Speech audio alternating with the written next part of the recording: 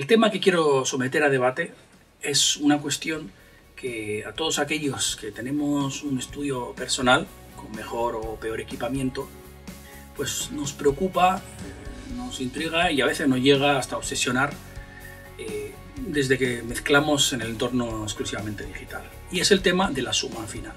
Es decir, hay una convicción generalizada eh, que sumando la mezcla en el mundo analógico podemos conseguir eh, pues todas aquellas, todas aquellas sensaciones que perdemos, supuestamente, haciendo el bounce con nuestro secuenciador favorito, que sea Pro Tools, sea Cubase, Nuendo, el que, el que más os guste.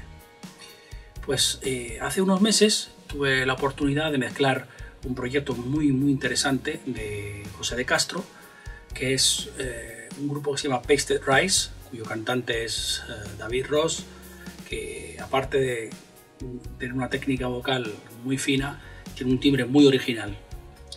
Y os recomiendo que le echéis una escucha.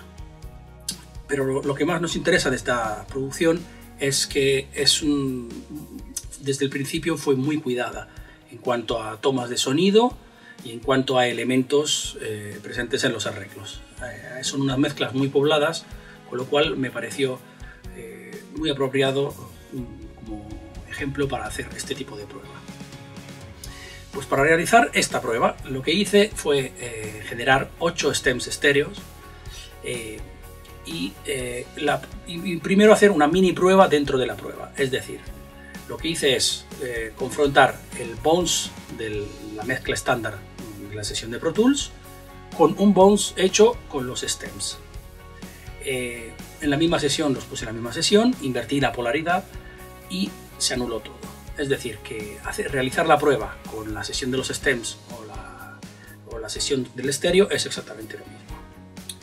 El siguiente paso fue coger los stems y eh, pasarlo al mundo analógico, sumarlos en analógico.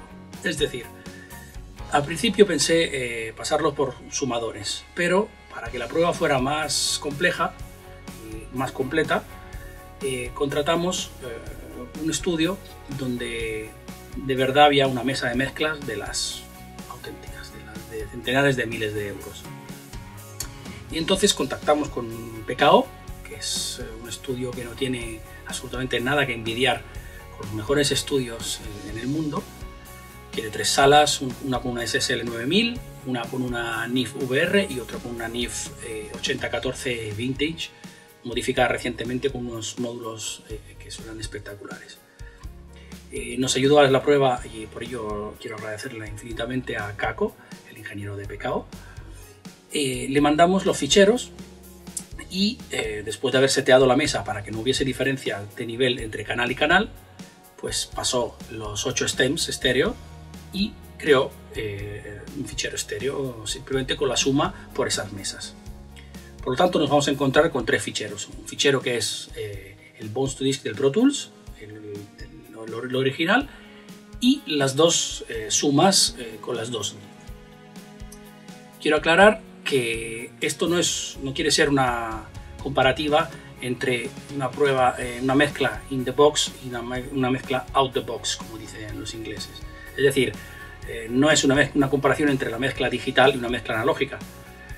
simplemente porque mi forma de mezclar, como la de otros muchos ingenieros con el Pro Tools, no es solamente utilizando plugins, que yo utilizo muy pocos en realidad, sino es eh, eh, haciendo DA de cada track individual, ecualizarla y, eh, comprimirla en, analógico y volviendo a pasarla a la sesión de Pro Tools. De tal forma que las pistas ya han pasado por analógico y no se puede considerar una mezcla enteramente digital. Dicho esto, os animo a que probéis, escuchéis los ficheros que vais a encontrar en mi blog, eh, pongáis vuestros comentarios y eh, sucesivamente eh, colocaré otro vídeo donde diré cuál es cuál, porque claramente va a ser una prueba ciega, es decir, voy a poner 1, 2 y 3 en cada fichero para que no haya ningún tipo de autosugestión porque uno se cree que está escuchando el NIF, otro se cree que está escuchando el Monster Disc del Pro Tools y eh, diré cuál es cuál y eh, sacaremos conclusiones que creo que van a ser muy interesantes.